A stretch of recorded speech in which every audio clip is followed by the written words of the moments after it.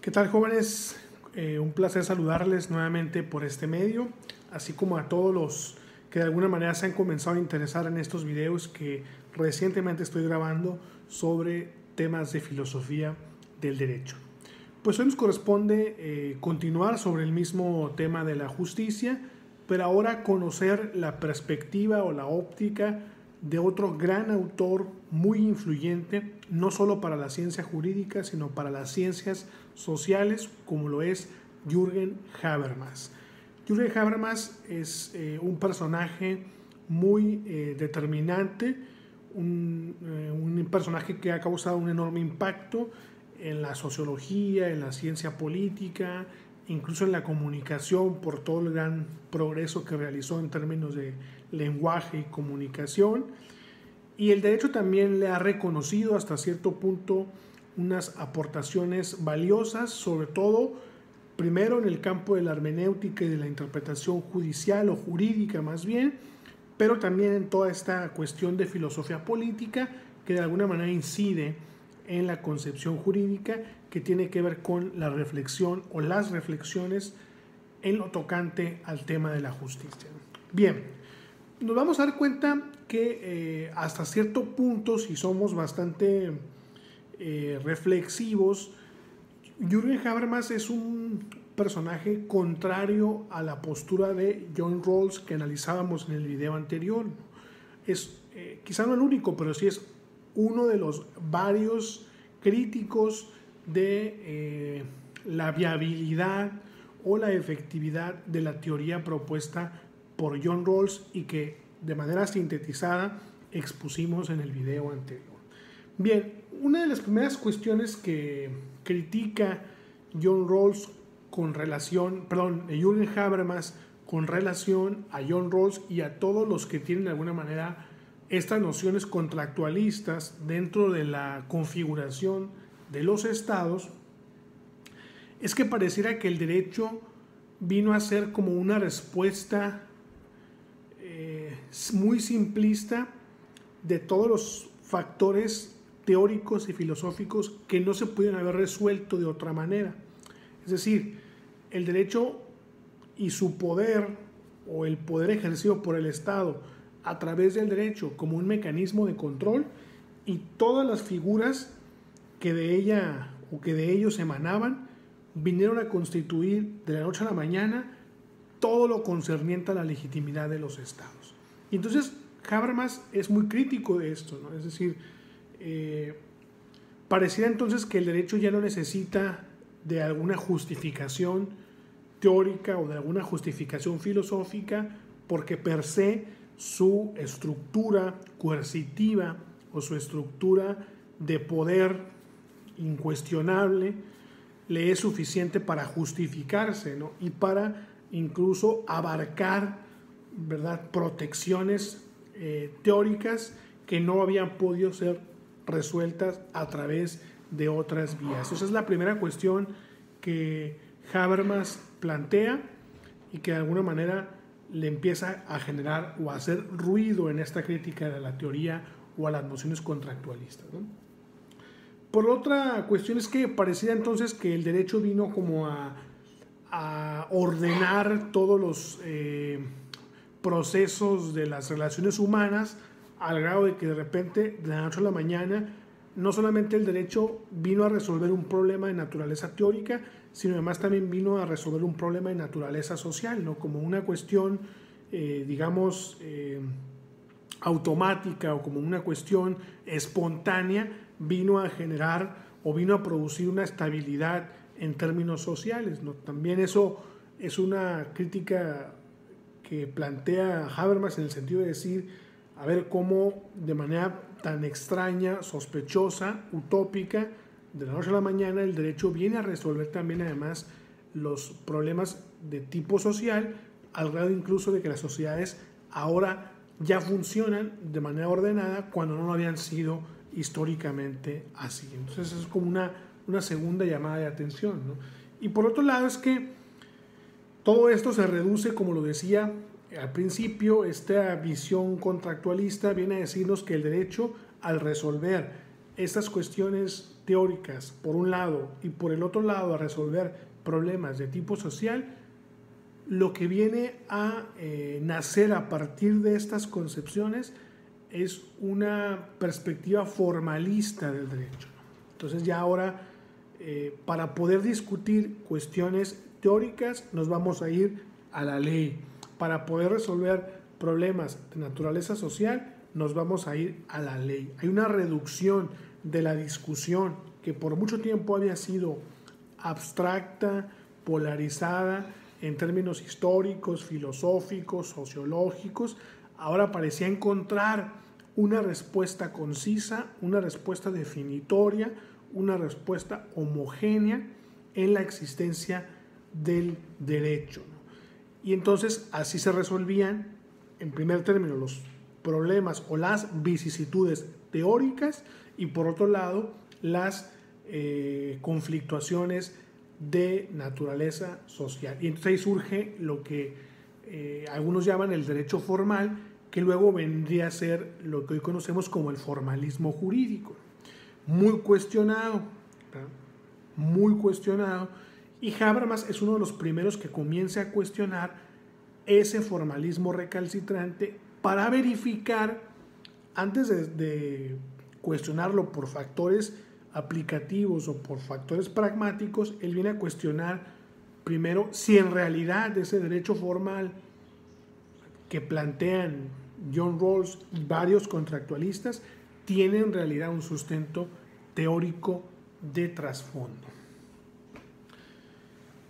¿Cuáles son las objeciones que Habermas encuentra dentro de la visión contractualista? Hay una primera objeción muy, muy común, es eh, ¿cómo podemos hablar de un derecho formal y de una sociedad ordenada si en primer término el tema de las cuestiones prácticas, y por prácticas me refiero a las eh, a los actos o, conductas que realizan las personas que forman parte de un colectivo, sus costumbres, sus, sus perdón, instituciones internas, es decir, las que son preestatales, aquellas que ya existían antes de la constitución de los estados, como de repente, como de manera espontánea vienen a convertirse en un formalismo rígido.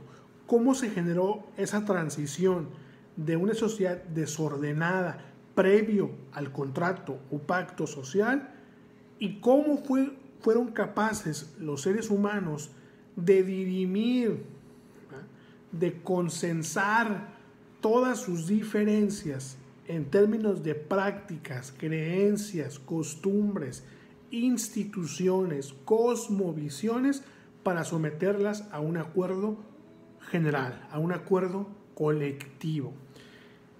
Porque eso no es tan sencillo, ¿no? es, es algo muy simple poner un ejemplo de lo difícil que resulta a veces celebrar un acuerdo entre un grupo pequeño de personas, o consensar sobre un tema en un salón de clases, o incluso ponerte de acuerdo con una pareja sentimental o con un par de amigos para ver qué película van a eh, mirar en una función de cine. Imagínate lo difícil que sería en términos no tan banales, sino en términos mucho más complejos acordar todas esas cuestiones. Entonces, esa transición de un modelo prestatal, anárquico, desordenado, hacia un modelo de racionalidad consensual o consensuada y ordenada en términos de organización, no es tan fácil de creer cómo se generó, cómo se produjo esa migración o esa transición de un modelo hacia otro. Y luego, eh, otra cuestión también que se critica es que mm, pues se pasa por alto muchos detalles históricos y muchos detalles de tipo sociocultural. en realidad es que eh, los cambios en realidad de pensamiento en el ser humano, no todos se dieron vía eh, acuerdo o vía deliberación. El ser humano también es capaz de, a partir de eventos o sucesos históricos, de modificar su forma de pensamiento. Es decir, la cultura y la historia se va escribiendo y escribiendo y escribiendo y constituye una fuente de cambio, una fuente de transición, que no necesariamente implica que haya habido una deliberación o un diálogo entre los actores o entre los sujetos que conformaban ese contexto histórico, ese contexto sociocultural.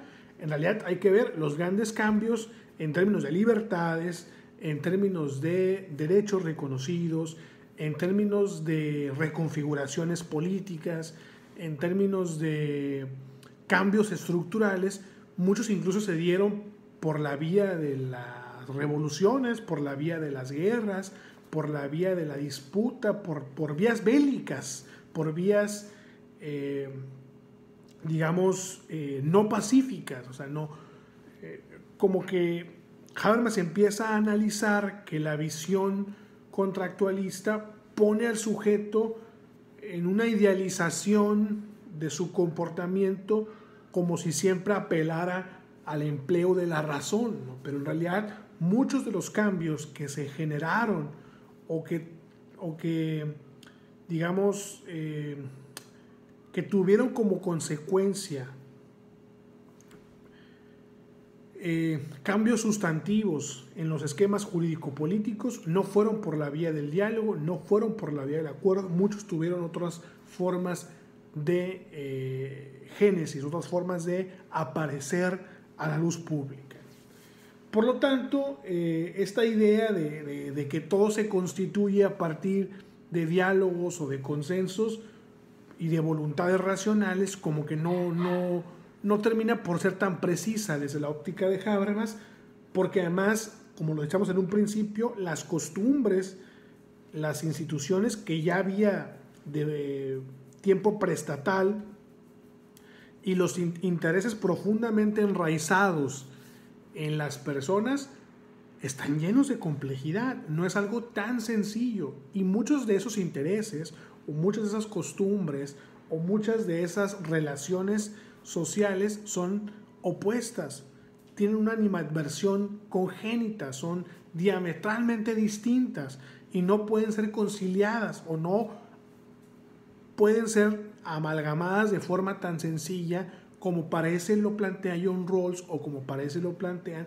todos los contractualistas o la mayor parte de la idea del contractualismo.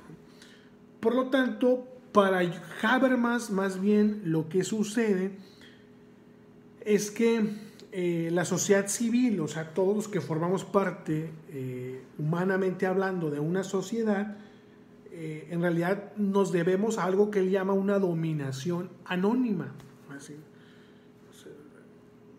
De tal manera que ese es el sistema al que pertenecemos, se autonomiza, y por lo tanto nos vemos atrapadas atrapados en formas de relaciones ajenas a nosotros que solamente obedecemos ya a una lógica sistemática. Esto no tiene otra forma de entenderse sino la vieja disputa entre la agencia y la estructura que muy bien planteaba Giddens desde tiempo atrás. La agencia corresponde a la capacidad que tiene el individuo para ejercer sus conductas para materializar sus actos pensando en un individualismo puro, pensando en un indeterminismo, como lo llaman los filósofos, en donde una autenticidad de conductas. El ser humano es, actúa porque quiere actuar de esa manera y porque es capaz de estirar en la mayor medida de lo posible su individualidad, su libre albedrío, su ejercicio de autodeterminación. En cambio, o, y contrapeso o como contrapuesto a esta idea está la estructura, que es todo lo sistémico, lo que va más allá del individuo y está estructuralmente construido. De tal manera que el individuo, en realidad, más que actuar de manera auténtica, de manera eh, voluntaria o de manera eh, libre o autodeterminada, se debe más bien a una lógica sistémica, una lógica sistemática, a una lógica estructural. De tal manera que cuando menos pensamos, ya no respondemos en realidad a intereses personales, respondemos a intereses sistemáticos.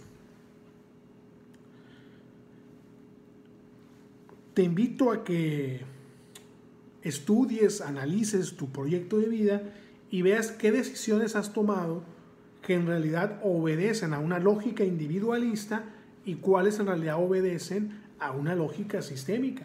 De tal manera que actúas de esa forma porque solamente de esa forma tiene sentido tu proyecto de vida o puede ser consumado tu proyecto de vida a la luz de la percepción estructural. Es decir, llega un momento en el que somos consumidos por la estructura o por el flujo sistemático o por la maquinaria sistemática al grado de llevarnos a actuar ya nunca más a partir de un libre albedrío, dirían los deterministas, sino más bien todos mis actos dependen de factores externos. Esos factores externos, como la economía, como si voy a poder conseguir un empleo, o sea, la integración laboral, eh, qué lenguaje voy a aprender porque me va a ser más útil en, la integración económica o laboral, em, en dónde voy a trabajar, qué carrera voy a elegir para estudiar y poder tener un, futuro eh, exitoso en términos económicos. Todo eso en realidad constituye una búsqueda del individuo por adaptarse a la estructura. Entonces no es tan sencillo esto de que el individuo actúa siempre por factores eh, autónomos o auténticos. Entonces, se fijan, aquí hay dos, o sea, al final Habermas nos, plantea dos críticas fuertes. Primero, a ver, o sea, el ser humano no siempre resuelve sus disyuntivas, resuelve sus dilemas por la vía del diálogo. Porque a veces el diálogo es imposible, sobre todo cuando nos presentamos en situaciones en donde la conciliación no es un acto viable. Por eso muchos de los cambios y de los fenómenos que se han gestado desde épocas eh, pasadas a la fecha se resuelven a veces por la vía no pacífica, a veces por la vía revolucionaria o a veces por otros mecanismos que no necesariamente o no de forma completa o de forma total emplean el diálogo, la conciliación, la mediación o la deliberación entre sujetos racionales y, no quiere decir esto que al actuar de esa manera los individuos no sean racionales, ¿no? sino que el ser racional no necesariamente implica que eh, agotes eh, forzosamente la vía de la conciliación o la vía del diálogo. Ya lo decía muy bien Tomás de Aquino, ¿no? cuando la injusticia eh, esté frente a mí y cuando el Estado se convierte en tiranía, pues mi deber moral me lleva a desobedecer las, decisiones de los estados. ¿no? Entonces, la desobediencia eh, o el distanciamiento del individuo con relación al Estado, con relación al derecho, como una postura, desde luego, no pacífica, no podemos por sí misma catalogarla como irracional.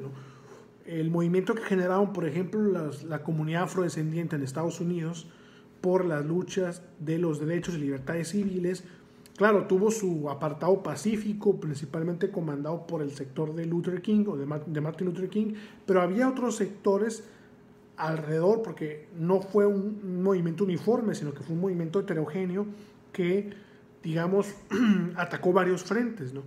Y muchos de esos frentes no fueron frentes necesariamente pacíficos, fueron frentes eh, combativos, conflictivos, pero eso no significa que hayan sido irracionales. Puede haber diálogo incluso irracional, puede haber actos no pacíficos racionales. Y el segundo ataque consiste en que además no solamente podemos decir que el individuo siempre actúa por medio del diálogo, sino que además tampoco podemos garantizar que el individuo siempre eh, se conduzca por la vía de la autenticidad. ¿no? Siempre hay factores externos que condicionan vía estructura su comportamiento. Y por lo tanto, Tampoco pensemos en un individuo racional y completamente original o completamente auténtico. Como que son dos requisitos que plantea John Rawls cuando invita al individuo a regresar a esa posición original y en la deliberación para la construcción de los principios de justicia someterse a su racionalidad y someterse a su individualidad. Que no son cosas tan sencillas viendo la hora desde la óptica de Habermas y su crítica. Entonces, para Habermas, por ejemplo, en los estados eh, actuales, porque yo digo actuales porque creo que sigue pasando exactamente lo mismo que decía Habermas, en realidad lo que le va dando, digamos, eh, motor a las formas de las relaciones humanas no son las normas jurídicas, sino la lógica de las relaciones de producción o la lógica económica. Es decir, que es obviamente quizá el eslabón más fuerte de esa estructura sistémica que se contrapone a la capacidad de agencia de los individuos. Porque si tú te fijas, casi todos los factores externos de los que te hablaba hace un rato, de una manera o de otra, tienen influencia con las cuestiones económicas.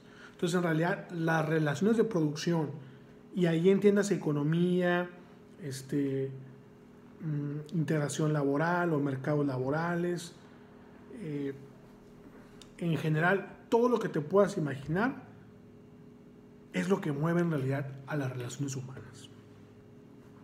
dice Habermas, yo lo veo así, hay que ver lo que está sucediendo ahorita con el coronavirus y la preocupación fuerte y quizá lo que le cuesta más trabajo a los estados para tomar una decisión de detener toda actividad de las personas, el punto que les cuesta más trabajo es el impacto económico que se va a generar. la lógica es económica, no es jurídica propiamente. Aunque los abogados queramos decirlo así, no es la lógica jurídica lo que mueve los intereses en el mundo o los intereses políticos, sino los intereses económicos. Incluso los derechos humanos se supeditan a estas negociaciones económicas para cuestiones de tratados internacionales. Incluso la Corte ya ha emitido, la Corte Mexicana ha emitido jurisprudencias en las que no obstante que el artículo primero de la Constitución establece la progresividad como un principio, una característica fundamental de los derechos humanos, ya ha establecido jurisprudencia donde establece que cuando el Estado no tenga los medios económicos para poder cumplir con determinados compromisos, podrá haber un efecto regresivo en los derechos y libertades. Porque tomando en consideración la situación de la economía de ese país. Entonces, ¿qué es lo que mueve? La lógica que mueve todas las cosas, las piezas, incluidos el derecho, es una lógica de producción, es una lógica económica. Eh, obviamente después hubo un gran avance en materia de sociología jurídica, que es una materia importantísima, preciosa, que ojalá que ustedes tuvieran la posibilidad de estudiarla. Generalmente se imparte en los primeros semestres, para mi punto de vista eso es un error porque estos temas se deberían de platicar con más sazón cuando el, estudiante ya está en una capacidad de experiencia, es decir, empírica y teórica mucho más avanzada que en primer semestre. Entonces, el avance de la sociología jurídica vino a plantear nuevos cambios, eh, quiso como darle un nuevo enfoque al derecho para que tuviese más relación con esos fenómenos que planteaba Habermas sin embargo, la, crítica más fuerte es que siempre ha habido una desconexión del derecho con los otros eh, factores en particular que vendrían siendo la política y la moral. Por eso la importancia en el curso de filosofía de ver filosofía del derecho, filosofía moral y filosofía política, porque ahí se engloba hasta cierto punto eh, todas las aristas que componen las relaciones humanas. Y a veces al derecho se le olvida eh, que eh, se necesita de la conformación, de una conciliación con estas dos, eh, con estos sistemas normativos o con estos dos, ¿cómo podríamos llamarle? Con estos dos, con estas dos dimensiones estatales, que es la ética y la política, para armar un, una racionalidad mucho más estructurada. Y entonces el problema es que al no conectarse el derecho con las lógicas política y moral, lo que pasa es este formalismo recalcitrante del que hablábamos en un principio, en donde aquí me voy a permitir leer tajantemente lo que dice Habermas, dice el derecho narcisísticamente, o sea, en esa postura del derecho eh, de superioridad o de ser, eh, de echarse porras él mismo, de auto vanagloriarse y de creerse omnipotente, solo puede reaccionar a sus propios problemas que a lo sumo podrían venir ocasionados desde fuera. Sí, son problemas que normalmente vienen desde afuera, particularmente de la política y de la moral. Pero al final del día solo vienen desde fuera, pero luego se constituyen en problemas jurídicos que se discuten a partir de procedimientos jurídicos, que se resuelven a partir de ordenamientos jurídicos y que se razonan y justifican a partir de criterios jurídicos. ¿Qué quiere decir? Y repito lo que dice Habermas, el derecho ha de efectuar todas sus operaciones a partir de los recursos que él mismo fabrica, que es lo que decía hace un instante. Su validez, el derecho solo puede hacerla derivar positivísticamente, hablando de positivismo jurídico, del derecho vigente. Se ha despojado, pues, de toda pretensión de validez que pudiese tener un alcance mayor. ¿Qué es la eterna crítica hacia el formalismo jurídico estricto? ¿no?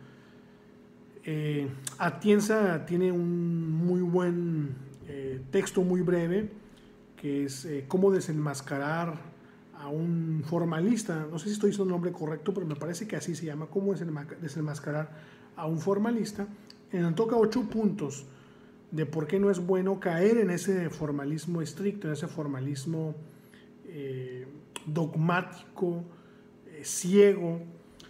Y una de esas cuestiones que plantea Atienza es justamente que se nos ha olvidado que gran parte de los problemas del derecho plantean escenarios políticos, plantean escenarios éticos.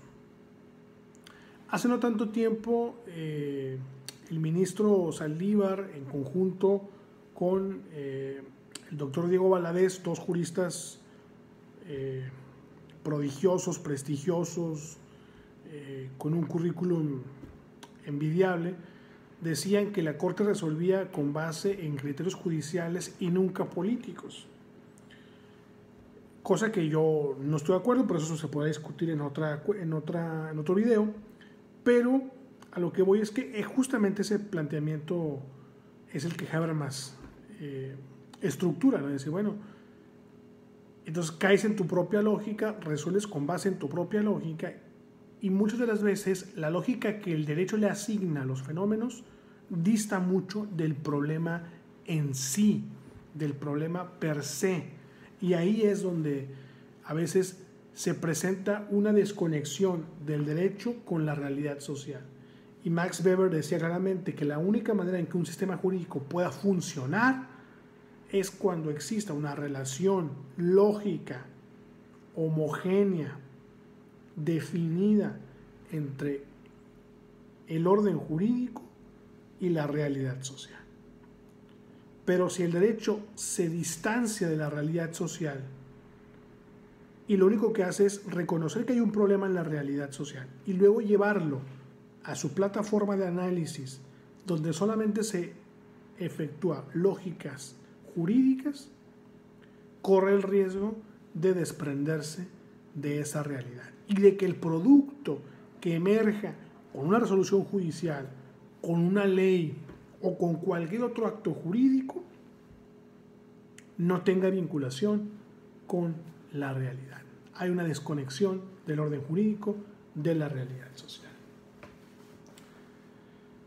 Sigo leyendo, no hay ningún output que el sistema jurídico pueda suministrar en forma de regulaciones, ni tampoco hay un input que el sistema jurídico reciba en forma de legitimaciones. Hay una desconexión, pues. No hay propiamente una conexión entre el derecho y esos problemas en origen de la dimensión a la que pertenecen, que regularmente, repito, navega entre lo político y lo moral, entre lo moral y lo político. Ese sería como a grandes rasgos todo esto que les platiqué, sería como la primera objeción de, eh, de eh, Habermas a la, a la, idea del contractualismo. Ya la segunda va más encaminada específicamente a criticar a John Rawls, ya no solamente a los contractualistas, sino ahora a John Rawls como tal. Entonces, eh, lo ubica como un contractualista, pero le reconoce que eh, con John Rawls viene esto que platicaba yo en el video pasado, una reconfiguración del contractualismo con una visión mucho más contemporánea, más modernizada, mucho más desarrollada, incluso lo podríamos decir de esa manera. Sin embargo, uno de los primeros problemas que Habermas identifica en el planteamiento teórico de John Rawls es que John Rawls parte de la premisa de que las instituciones son efectivas porque son justas. Y al ser efectivas y justas, abonan al establecimiento de una teoría de la justicia en una sociedad que a partir de ese momento se eleva de ordenada a justa. Pero parte de la premisa de que esas instituciones estatales son justas. Después, eh, la pregunta que plantea Habermas es, bueno, ¿y qué pasa si en, ese regres en esa regresión a la posición original, cómo podríamos lograr que esas instituciones realmente sean justas? ¿Cómo las reorganizamos para pensarlas de acuerdo a la premisa de John Rawls como instituciones justas? Sí, porque si parto de la premisa de que son justas, pero no son justas en realidad, o no han sido justas históricamente. Entonces, ¿cómo reorganizo a las instituciones y no solamente a los individuos en esa posición original, sino cómo las instituciones también deberían retornar a una postura inicial que les desprenda de todas esas, eh, todos esos vicios que las han llevado a la forma en como hoy las conocemos. Entonces, un primer problema de John Rawls para Habermas es que parte de una premisa que no es tan fácil de eliminar, que es partir de que las instituciones son justas o van a ser justas y efectivas porque no lo han sido históricamente. ¿Qué nos haría pensar que van a hacerlo desde esta postura rawlsiana? Otra cuestión que se discute es que nos hablan de un pacto social y volvemos al mismo tema del comienzo, ¿no? cómo unificar, cómo conciliar doctrinas filosóficas, doctrinas religiosas, doctrinas morales, cómo conciliarlas. Muchas son inconciliables. Son tan inconciliables que hoy los estados modernos están apelando más bien a la neutralidad. Ni tú ni tú tienes la razón, ni yo como Estado soy el indicado para decirte quién tiene la razón. Entonces mejor les confiero libertad para que ustedes actúen con base en lo que creen conveniente. ¿Por qué? Porque no puedo yo como Estado definir cuál es mejor, pero tampoco puedo generar un diálogo entre ustedes. Hay perspectivas que son inconciliables, que no se puede generar un diálogo. Y lo vemos hoy en día muy constantemente. Los pro vida y los pro choice, inconciliables. No me los imagino conciliando en lo absoluto. Para nada. Entonces, partir de una idea del pacto social, mm, dice Habermas, no es tan sencillo. ¿eh? ¿eh? volvemos al tema de decir que no solamente que el individuo racional no siempre apela al diálogo, sino que a veces incluso hay cuestiones que aunque dialogues y dialogues, no las vas a conciliar.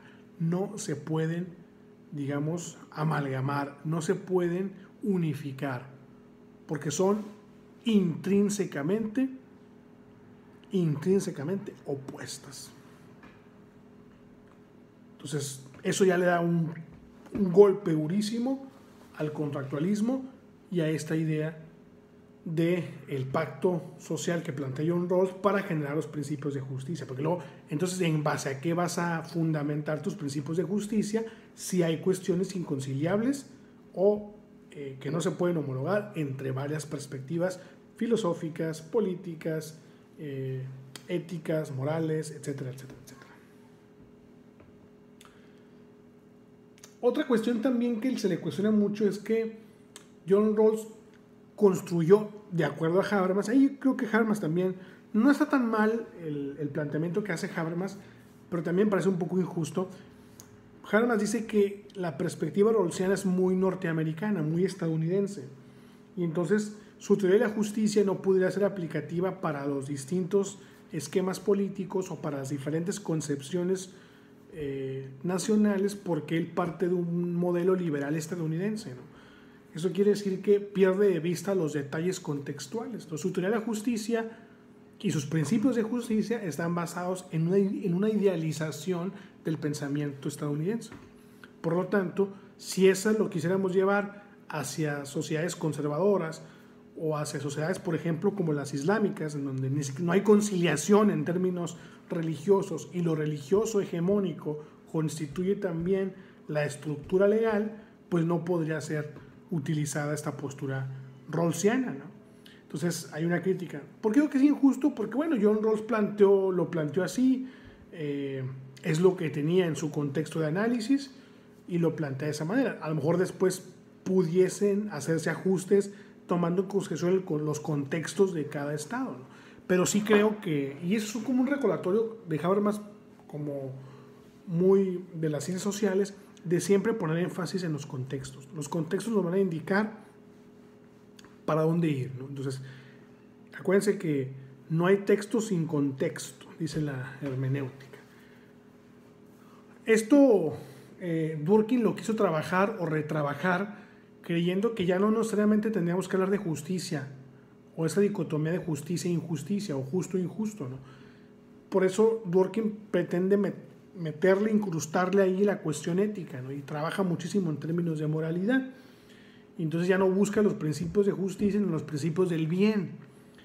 Pero para Habermas sigue, sigues cayendo nuevamente en esa, digamos, fase utópica, postmetafísica, en donde cómo le vas a hacer para conciliar proyectos de vida tan diametralmente distintos en términos de moralidad. Entonces, por eso repito y lo, lo comentaba hace un instante, hoy en día los estados contemporáneos apelan a la neutralidad. Ningún proyecto de vida se sobrepone sobre otro, cada uno es respetable, por lo tanto cada concepción política, cada concepción moral, cada concepción religiosa es respetable y en función de que se respeta el individuo puede construir su proyecto de vida. Entonces no se puede crear una, una teoría de la justicia y tampoco se puede generar una teoría del bien porque hay muchísimas formas de concebir estos dos esquemas muchos de ellos totalmente adversos, total y eternamente opuestos. Y finalmente es eh, lo que planteamos también hace un instante, lo reformula al final eh, Habermas en el sentido de que Rawls tampoco se refiere a la forma en cómo evolucionan las sociedades, tanto cultural como política y socialmente. Y esto es que se olvida de que puede haber grupos contestatarios, contrarios al orden establecido, que no quieran participar en la deliberación para la construcción de los principios de justicia o que aún participando y creando este mecanismo que planteaba John Rawls y ya instaurada la sociedad en el pensamiento de John Rawls, posteriormente decidan no adherirse a esos principios y comenzar a eh, digamos, como a generar un lobby contrario a el criterio mayoritario. Esto es lo que sucede en la realidad. Gran parte de las libertades, cambios políticos, eh, resultados positivos de los cuales hoy tú y yo podemos gozar de muchos derechos y libertades, se han generado a partir de estos movimientos como lobbies opuestos al orden establecido. Entonces esa parte no la, no la plantea John Rawls, se le olvida John Rawls cree que los derechos solamente pueden nacer de la deliberación como construcciones sociales, pero no como construcciones sociales que deriven de otras eh, formas de relación o de otras formas operativas como pudieran ser las protestas, como pudieran ser los movimientos sociales, como pudieran ser las confrontaciones políticas o como incluso podrían ser los actos violentos y de naturaleza bélica. Esa parte también queda fuera del proyecto de la teoría de la justicia de John Rawls. Entonces, eh, claro, plantea más cosas. Yo te reduje el análisis de Habermas a unas cuantas páginas que traté de resumir en el PowerPoint y trato de resumir en este video. Como se pueden dar cuenta, es, como el escenario contrario. En una esquina John Rawls, en la otra esquina Habermas. Ahora a ti te corresponde tomar la determinación de cuál postura es la más convincente o si eh, se sigue sosteniendo la idea rolsiana de la teoría de la justicia, o si Habermas le ha dado un golpe durísimo, de tal suerte que John Rawls no se ha podido levantar y se eh, genera un knockout técnico. Tú lo decides. Bueno, estaremos grabando más videos. Eh, les mando un saludo, un abrazo fraternal y nos estaremos viendo por aquí, por este medio próximamente. Saludos.